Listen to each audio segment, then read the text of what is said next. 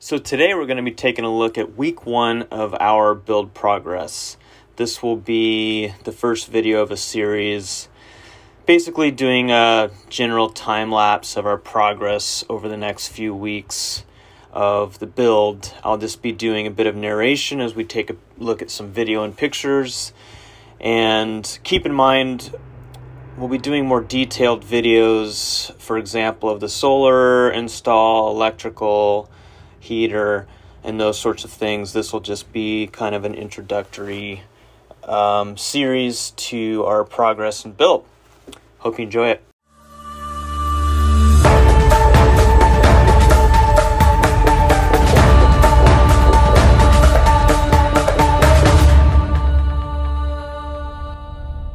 So as we began planning our layout, layout and build for this new overland truck, we fortunately have had several years living full time in our current van, and so we had a pretty good idea of things that were working well for us and things we wanted to change.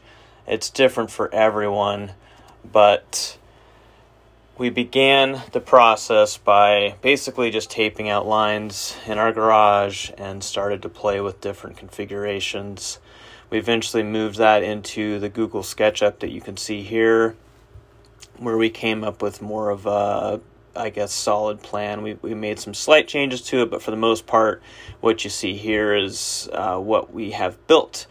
I've got a separate video that will walk you through the Google SketchUp uh, plan where you can see some more details of the layout. I'll put a link to that above. Here we are just uh, basically unboxing these Coosa composite panels. I'll be talking about these a bit more, but they are a fiberglass reinforced foam board. We have a half inch thickness, and they're they're common in the marine industry as a plywood replacement. And this is our first time working with them, but so far we've been pretty happy with it. Here I am doing some uh, Kreg pocket holes. This was just an easy way to help join some panels together while the glue sets. When working with Coosa composites, it's important to understand that one of the big drawbacks of these types of boards is they don't have good screw retention. They need to be glued. You can use screws to help join things together to let the glue set, but the the the uh, screws that we're putting in are are just for the purpose of holding two surfaces together while the glue sets. The screws are not going to offer any strength. As far as cutting these boards, you can use any standard tools. They cut easily on table saws, drills, everything. They're they're really nice to work with. You know, the big benefit of them is that they are waterproof, right? There's there's no natural product or wood in them, so um, if they do get wet, you won't damage anything. They take paint and primer well. You know, for example, you could build a shower out of these panels and just simply throw some primer and a coat of paint, and you're ready to go. Um, the disadvantage, of course, is they're a bit more costly. They're about twice as much as plywood we actually bought these when plywood prices were through the roof, so they were actually kind of comparable. But you know, expect to pay about 200 bucks a sheet for these um, Coosa boards. What we're doing here is we're actually building the kitchenette kind of cabinet, and I we don't even have the the, the new truck yet. We I just kind of wanted to spend some time using these panels to see how they work. And you can see we actually are doing this in our garage. We have since sold that house, and so um, for the rest of the video, you're going to see us just working outside um, at a friend's shop. But we, uh, yeah, we, we decided to just go ahead and build the kitchen area first, or at least get the framework done to get a better idea of how these panels work. And we decided to actually use epoxy. Typically, Coosa is bonded with epoxy because that's just how people build things in the marine environment, and it's certainly a very strong way to do it. And for the kind of kitchen cabinet that's going to have a lot of drawers and a lot of weight to it, we decided that um, we're going to go ahead and do epoxy for that. So we did some just butt in joints with epoxy, and then we use some fiberglassing to strengthen those joints more, and you'll see more details on that. But here we are just mixing up some of the epoxy to um, start putting the cabinet together.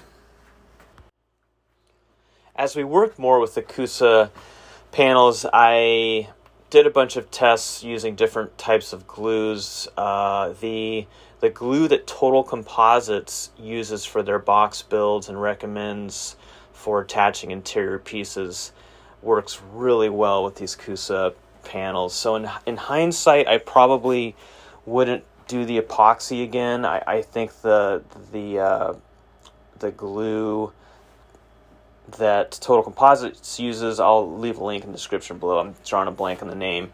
Um, it it works great. It's really strong, and so I think I think as long as you have enough cross bracing and whatnot, it, it would do really well. The basic cabinet frame is for the most part done. There will be some cross members that go here that the uh, drawer hardware will sit on. But yeah, basically all the joints have been epoxied and pocket screwed. I'm going to also just put one layer of glass tape and epoxy there at each of those joints just to stiffen it up a bit. But it came out real nice, nice and square, weighs nothing. Here I am just applying some of the fiberglass strips and glassing to those inside joints just to make them a little bit stronger. I'm happy we went with the fiberglass for this cabinet because it is going to hold quite a bit of weight. But like I said earlier, I, I think you could get away with using the Total Composites glue but uh, it is nice knowing that this is a little bit overbuilt. So now we're transitioning to this shop that I am borrowing or sharing with some folks. And yeah, unfortunately, we had to, to keep the truck outside in the weather, but at least we had a place out of the wind to work. It was rather chilly. Starting out, we were in single digits, and um, not gonna lie, it was brutal.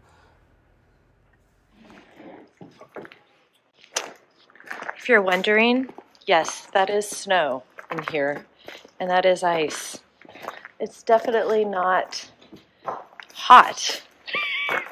It's a wee bit chilly. We'll peek outside real quick here. Oh, don't mind that ice. And that ice.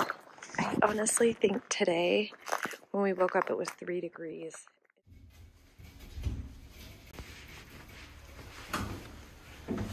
Okay. Our first piece. Woohoo! This is kind of the back wall.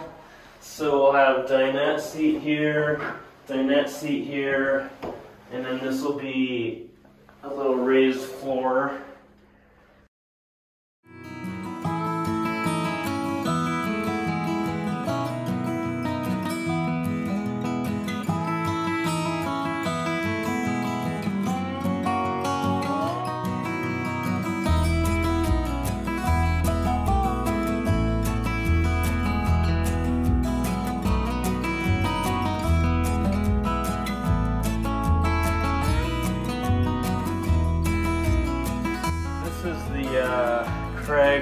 Plunge saw system.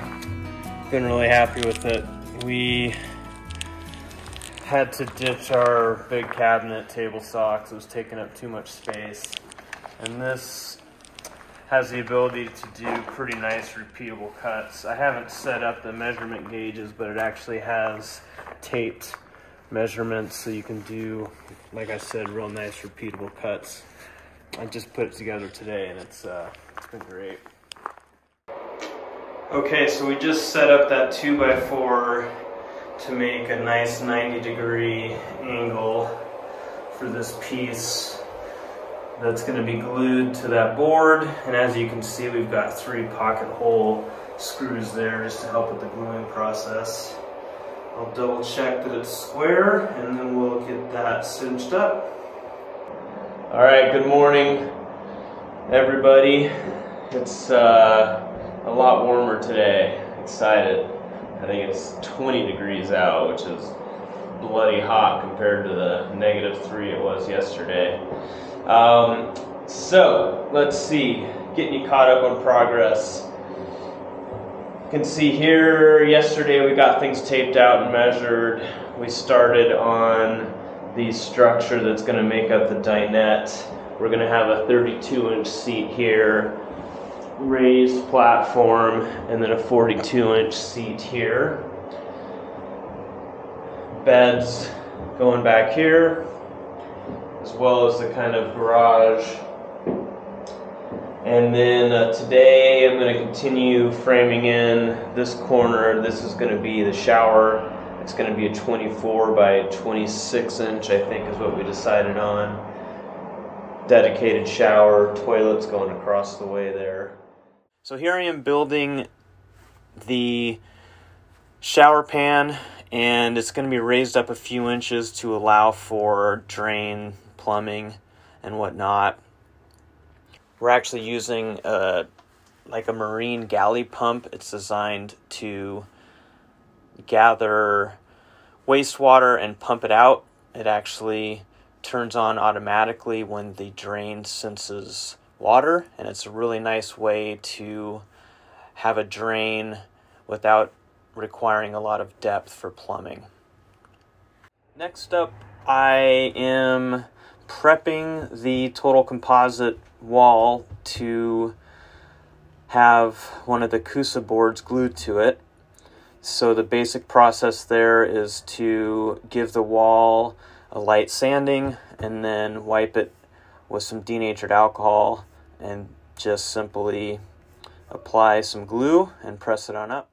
Here's another shot of the shower pan going in, just doing some dry fitting.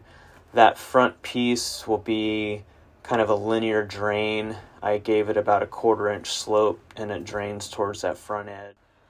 Here we are starting to work on placement for some of our electrical components. We decided to go with Mastervolt for the majority of our electronics and their partner company CZone, which provides digital switching and a touchscreen monitor and remote monitoring that uh, was important to us. I have a separate video talking about the components we're using and why we chose them over the more common, you know, for example, Victron. But, uh, anyways, I'll leave a link to that above and you can check that out. Here we are. We decided that we needed to trim down a cabinet that we had already made um, for our kitchen area because it doesn't fit in the door. So we trimmed it down about a half inch and we are um, going to go see if it actually can slide in the door now. All right, well, we are ready to start attaching this cabinet here to the wall. So one of the things with Total Composites boxes is you can't actually screw anything into the wall. This is literally just spray foam with this fiberglass on the inside and outside. And if you put a screw in there and it applies some pull, it can actually delaminate the fiberglass. So everything needs to be glued to the wall. Uh, Total Composite has good instructions and recommendations for what types of glue to use. But um, to help, one of the ways we're going to secure this cabinet is to put some glue on the back side of these pieces here and glue it against the wall. In addition, I'm going to glue in some angle iron aluminum that uh, will glue to the total composite wall and then I'll do some through bolts to secure, to add a little bit more that way.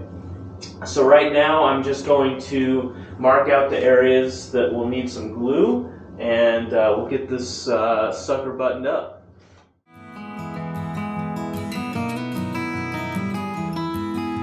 Just gonna give it a quick scuff with some 100 grit sandpaper and then we'll wipe it off with that denatured alcohol.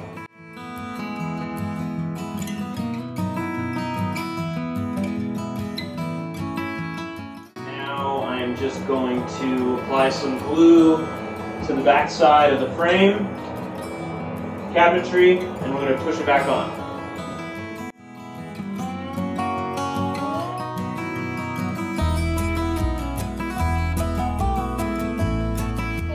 So I'm in here with August and he was just giving me the download about our Rixens heating system. So he's going to give you a little bit of the download of how it works and how cool it is. All right, we are working on getting our Rixens hydronic heater installed today, or at least getting the location dialed. Um, what this does, it has an outside furnace that runs off of gas out of the fuel tank, and then it pumps, it circulates uh, radiator uh, coolant through this stainless steel box, and then that hot fluid is pumped throughout the camper to different heat exchangers like this. This is a forced air heat exchanger. The, the hot coolant gets pumped in, fan blows through it, and you get hot air. They have the same thing for hot water. So we're going to have a hot water heat exchanger and uh, for the sink and another one for the shower. Here are all the components that come with the Rixens heating system. You can click above for a link to another video where I do a unboxing of everything. After playing with a bunch of different heater locations on the outside, we actually ended up mounting it basically right behind the cab, which worked out awesome. Super easy to get to. It's going to be really easy to maintain it. And after extending the wiring harness to allow me to get to the fuel pump, that worked out great. Well, that basically wraps up week one. Doesn't seem like a lot, but uh, it's progress, and I'll take it.